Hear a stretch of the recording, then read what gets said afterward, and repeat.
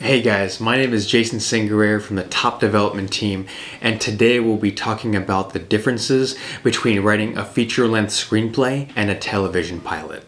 And if you're interested in writing your great screenplay with a top development team, click the link below this video to work with us. Let's begin. So you may have heard that we are in the golden age of television. In 2021 alone, there were 559 scripted television shows that were made. And with some of the most greatest and most creative writing done on television, one may question which to write a feature or a television pilot. And in this video, we're not going to be talking about the procedural TV shows like Law and Order because of the contained nature of each episode. We're going to be talking about the TV series that arc over the course of multiple episodes or seasons. The nature of both of these stories are similar to features, but the way they are executed are different. The first key difference is loose versus open ends. In a feature-length screenplay, your main character is introduced to a problem. They have to deal with that particular problem, and the problem is resolved in the end. The story goes through all eight elements of the story circle and fully resolves the central story conflict. The character either wins or fails based on the actions they take. This is why franchise films like Marvel's The Avengers fit the feature format well because the conflict is philosophically, emotionally, and externally resolved with minimal loose ends. Now, in a television series, your main character is introduced to the problem in the pilot. The components that will help the main character resolve the problem are set up to be paid off in later episodes. The story circle is still active. There is some level of irreversible change at the end of each episode. However, the full arc of the story is not completed until the very last episode where the conflict is resolved. This is why television shows need a strong philosophical conflict and characters to drive the show so the audience is engaged to come back week after week. The second difference is plot versus characters. Feature films rely heavily on plot, concept, and structure. Take The Dark Knight, for example, a story about how a hero wants to bring justice to Gotham City as he faces the obstacle of the Joker. In Act 1, Batman wants to bring order and justice to Gotham by taking down the Joker. In Act 2, Batman captures the Joker but is crushed by Rachel's death. In Act 3, Batman has to protect Reese, but Joker has let Harvey Dent loose from the hospital where he is detained. And in Act 4, Batman brings Gotham to a state of order and justice by killing Harvey Dent, saving Gordon's family, and allowing the blame for Harvey's killing to fall on himself. Now, there are still open ends to this story, such as what will happen to Batman, but the core conflict of the film, which is restoring order to Gotham, is fully resolved. Television shows are character driven, but are much looser with the plot, allowing your main characters to have fully fleshed out arcs and time to grow. The first episode of Stranger Things Season 1 opens with Will being snatched by the creature and the search for Will begins, setting up the problem for the whole season. The show keeps the audience engaged by creating irreversible change in the lives of the characters at the end of each episode, but the main conflict remains wide open. In episode 2, after discovering Eleven, Michael brings her back to his house for help. But Eleven tells him that there are people after her and it would be dangerous to tell anyone. At Michael's house, Eleven sees a picture of Will indicating that she knows something about his disappearance, and she uses her powers to reveal that Will is hiding from a supernatural monster.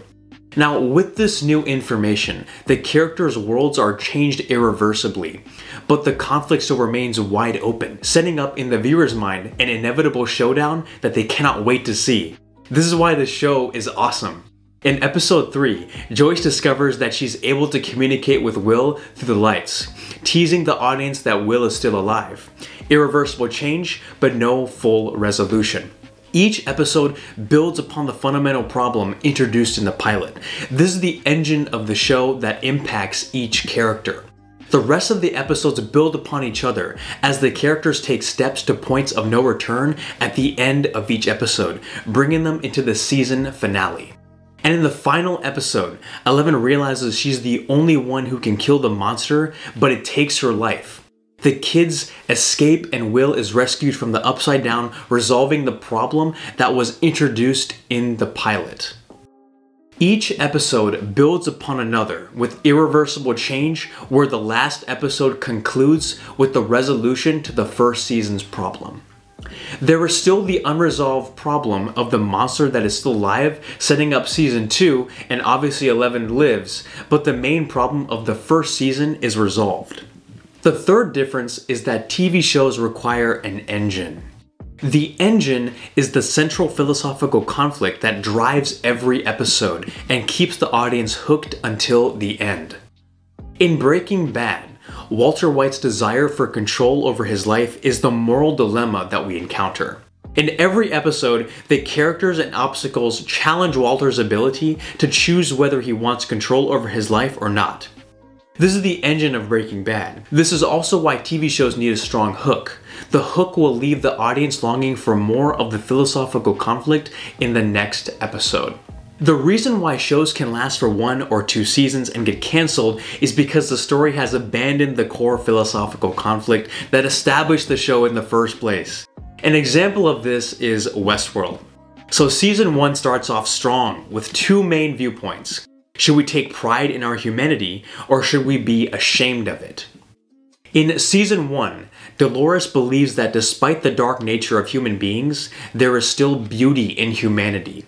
But the man in black believes there is no good in humanity and life is just a game.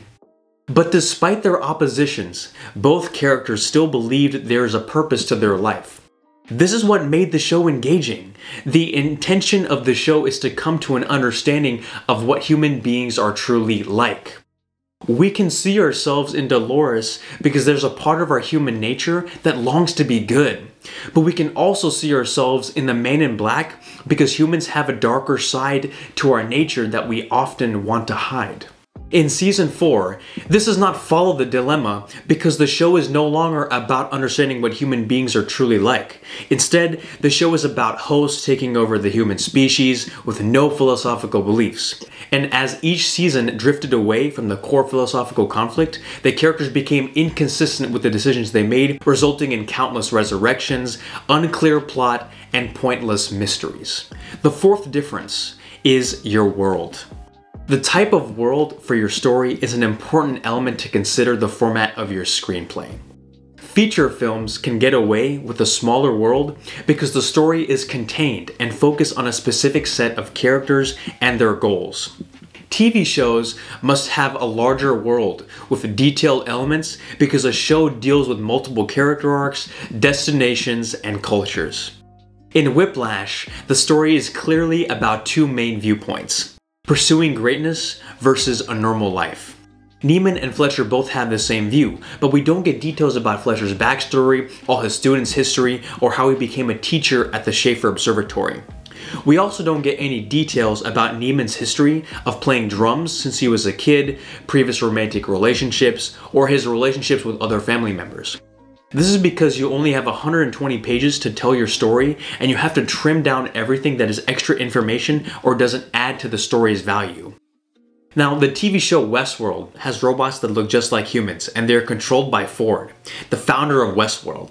Now, this challenges the guests in the show, revealing who they truly are when they have the freedom to indulge in whatever they please. The world also has specific locations that are personal to each character. For example, the ranch reminds us of Dolores, the bar reminds us of Maeve, the train reminds us of Teddy, and the lab reminds us of Ford and the humans. This is important because the audience spends more time with the characters in the world of a show than in a film.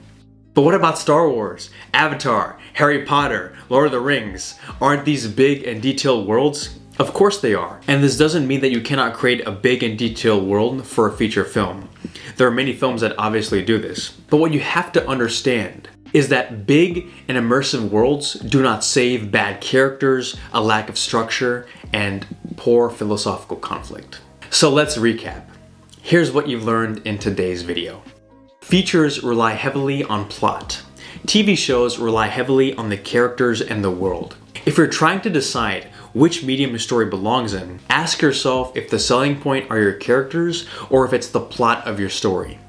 Features rely on a fundamental understanding of story structure, plot, and character arcs. TV shows require a captivating world with an engine that hooks the audience in every episode until the end.